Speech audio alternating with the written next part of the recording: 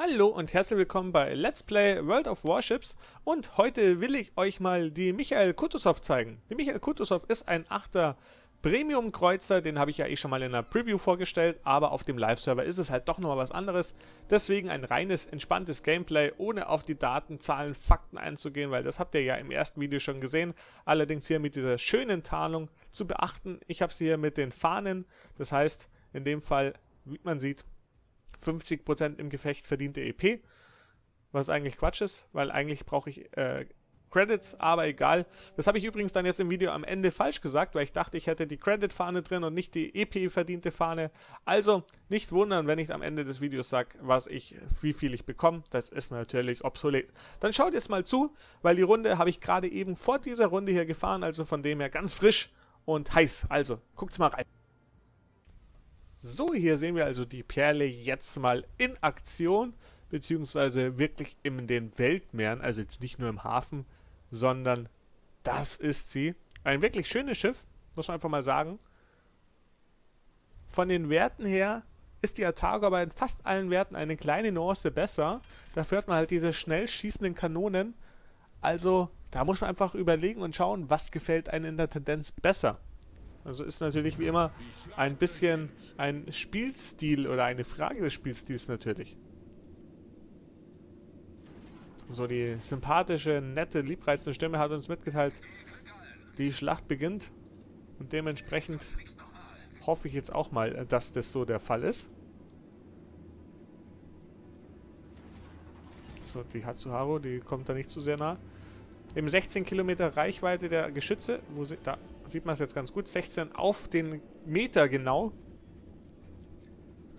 Und ich habe zurzeit immer häufig den Fehler gemacht, dass ich einer der ersten war, der irgendwo reingefahren ist. Ich werde versuchen, mal ein bisschen dezenter zu spielen, weil eigentlich ist die Stärke, wenn man jetzt nicht unbedingt fokussiert wird, sondern selber dann einen Gegner rausfokussen kann, der irgendwo ein bisschen abgelenkt ist, weil da schießen einfach die Geschütze so schnell, dass man dann viel Unfug machen kann.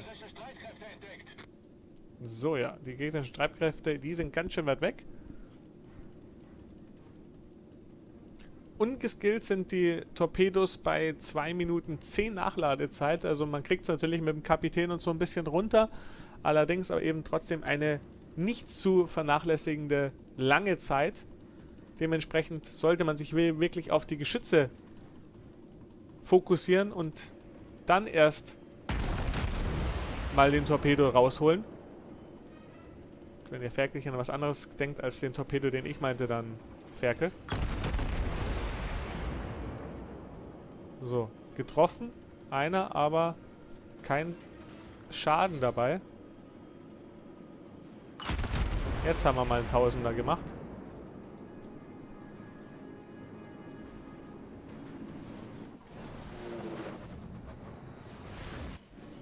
Ja, und noch mal ein bisschen was. Aber nichts wirklich Hohes.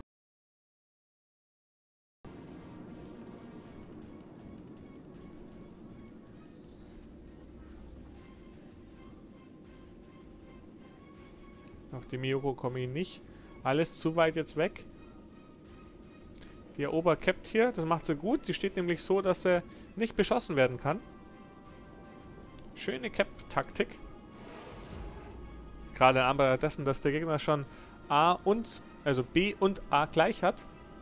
Ist gut, dass wir hier wenigstens hier auf C da den Cap einnehmen.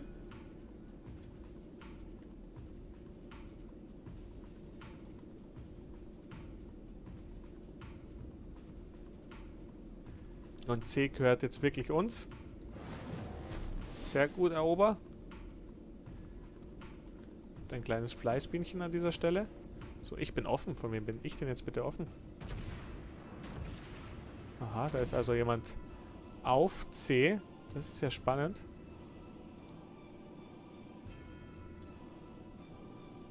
Sollte doch hoffentlich auch gleich aufgehen. Ist nämlich auch in dem Fall einer der Zerstörer.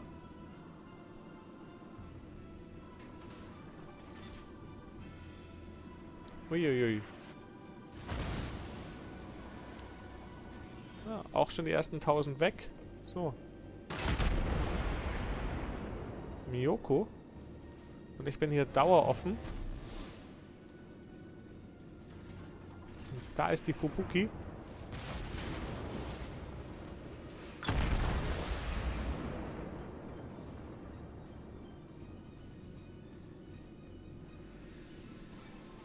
Und jetzt wird es mir zu heiß. Ich setze mal auch den Rauch ein.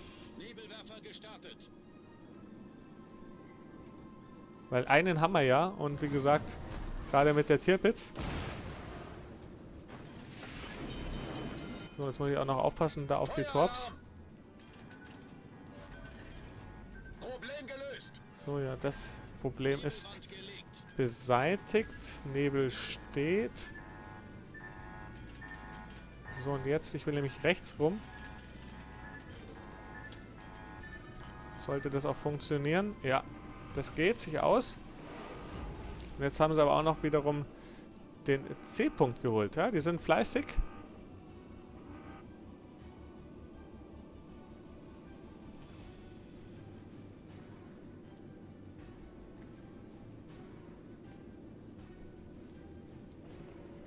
Ja, die Miyoko, die ist da hinten. Und ich bin schon wieder offen, aber nach wie vor natürlich hier der Zerstörer, der da hier im Wasser ist.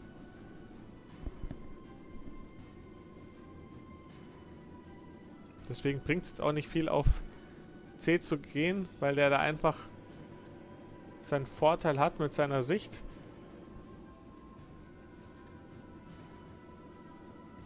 Und da muss ich aufpassen. Da kommt die Sonne um ein bekanntes Rammstein-Lied zu zitieren.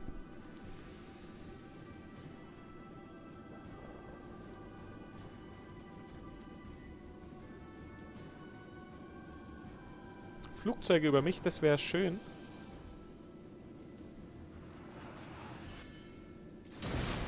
So, und jetzt schießen wir doch mal mit den Torpedos.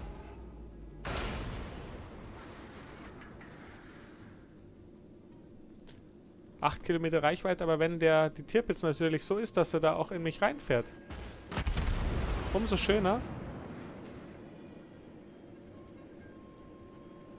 Gibt's nicht. 112 HP und ich schaff's nicht, die zu versenken.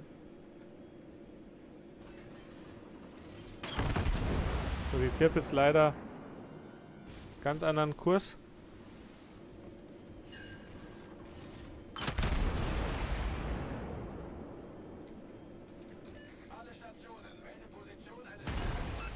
Und jetzt drauf mit den Schellen.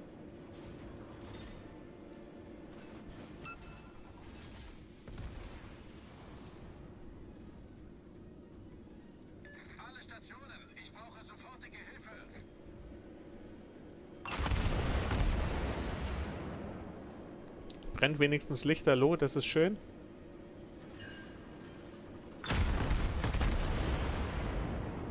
immer fleißig drauf auf die Luzi.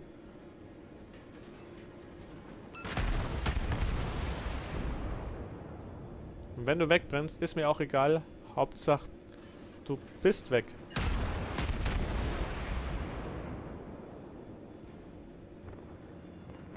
So, jetzt kommen schon die nächsten Schüsse. Aber er steht jetzt da so halb.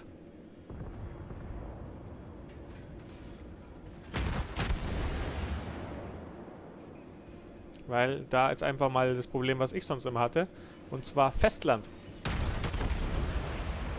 So, brenn. Brenn einfach.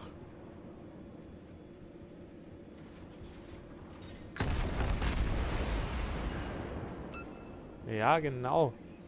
Langsam aber sicher die Nadelstiche.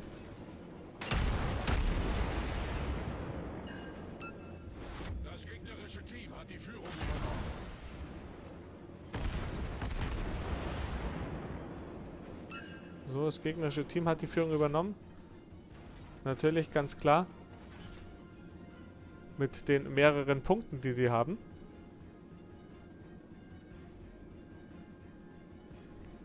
Deswegen, ich werde jetzt mal wieder Richtung C fahren. Außerdem kommt mir von da drüben einfach auch viel zu viel. Für meinen Geschmack. B wird Gott sei Dank schon gekappt. Das, da hat der Zerstörer gut aufgepasst. Da drüben jetzt eine Cleveland, die für mich zu beschießen wäre, aber die fährt weg. Dafür haben wir eine Nürnberg, die da auch noch kommt.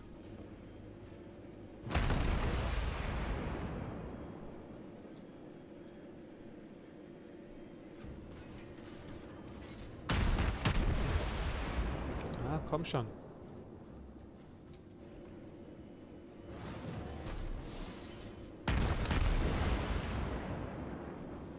Admiral Lindemann. Sind wir jetzt hier bei der Rammstein, bei den Rammstein-Tanken. Die Sonne, der Lindemann.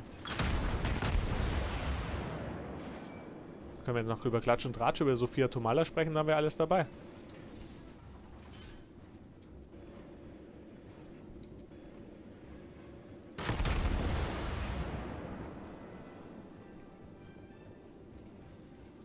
Da die Miyoko.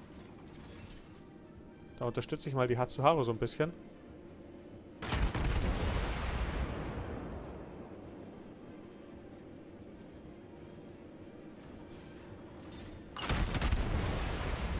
Einen Treffer, aber der dürfte nicht viel gemacht haben.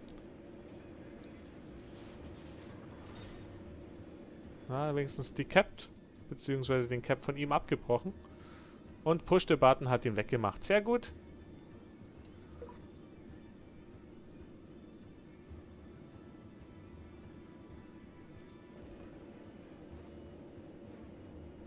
So, und jetzt die meisten der Gegner sehen wir jetzt hier.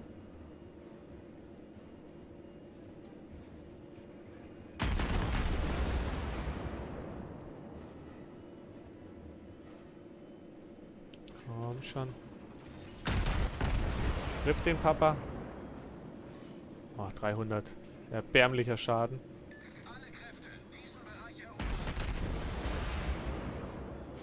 2000 ist ein bisschen besser.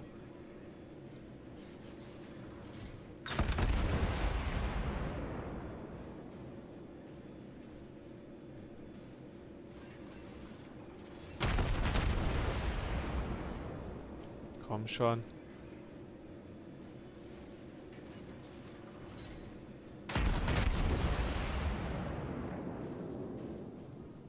So, jetzt ist mein Support da unten weg. Ja, der war dafür ein bisschen, bisschen schwerwiegender.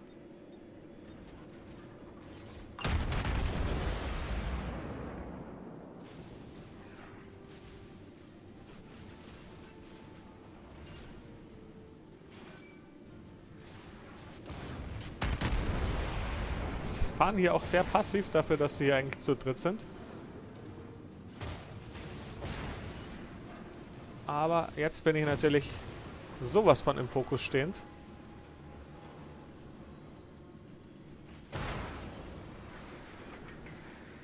Und da kommt wieder eine böse Insel.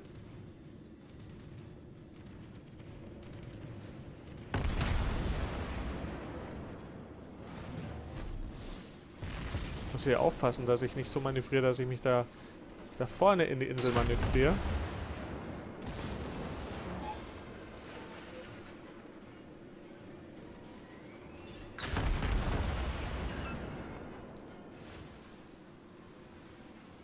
Ich würde gerne da vorne dann gleich rechts abbiegen, wenn ich um die Insel rum bin. So, jetzt folgt mir die Nürnberg so, dass ich schön mit HE auf sie schießen kann. Weil von vorne, da ist einfach AP vom Winkel nicht so top. Deswegen lieber jetzt HE drauf und gut. Hat sie wohl auch gemerkt, dass das gar nicht so cool ist, wie sie mir da folgt. Deswegen dreht sie jetzt auch schon bei.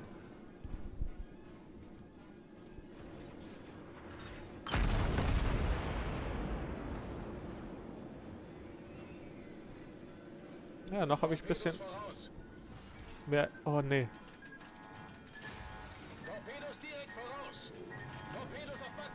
Alter, war das knapp.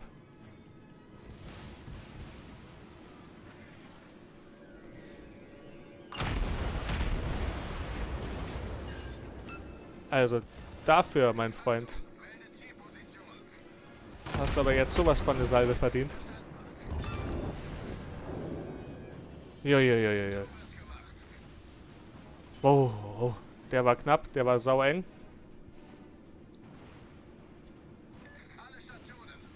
Aber klar, da war natürlich ich so lange offen, dass er ganz genau wusste, wo meine Route ist und wo ich komme. Also, dass ich da durchkomme, war einfach eng.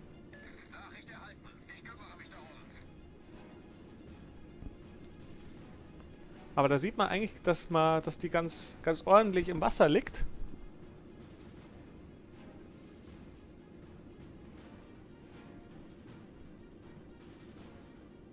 So, D wird jetzt auch durch uns gekappt. Sehr, sehr schön. In B ist noch niemand.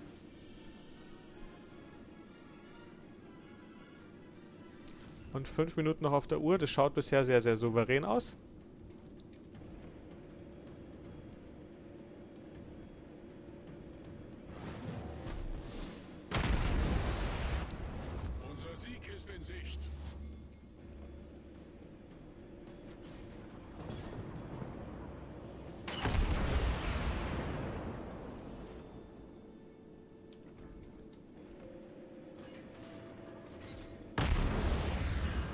So, den angezündet.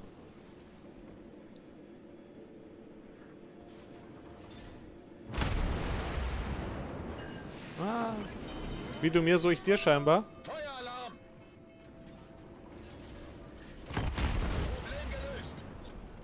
So, und da jetzt noch die Tirpitz. Holla, die Waldfee. Da ist noch nicht aller Tage Ende oder Feierabend.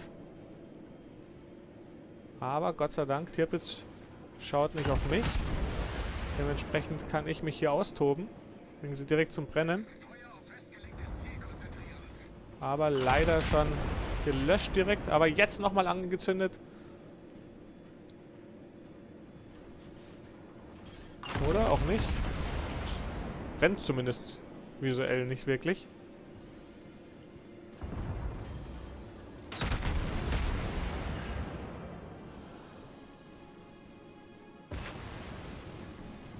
Jetzt nur kein Munitionslager mehr treffen. Die letzten Meter so, so gesehen.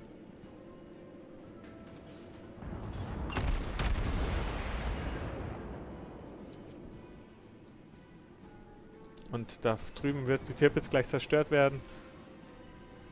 Wir haben auch nochmal drei Treffer gemacht. Da dürfte gleich überall Finito della Musica heißen. Ja, da ist es rum. Und da war es doch eine vernünftige Runde mit der Michael. Bitte hierbei beachten, dass ich die Fahne für die Credits drauf habe. Also von dem her nicht, dass ihr denkt, wow, krass, so viel XP, sondern es gab natürlich ein bisschen was dank der Fahne. 1747 XP. Und was haben wir gemacht? 40, 60, 70, 75.000 Schaden. Ja, das kann man doch lassen. 75.000 Schaden. Den erhaltenen Schaden sehen wir hier, aber den haben wir ja im Spiel gesehen und sehen jetzt praktisch, was haben wir netto rausbekommen. 300.000 gab es raus mit der Flagge. Also unterm Strich doch ganz ordentlich. Ja, dann hoffe ich, hat euch die Folge gefallen. Ich wünsche euch alles Gute. Bis zum nächsten Mal. Euer Ekaramba.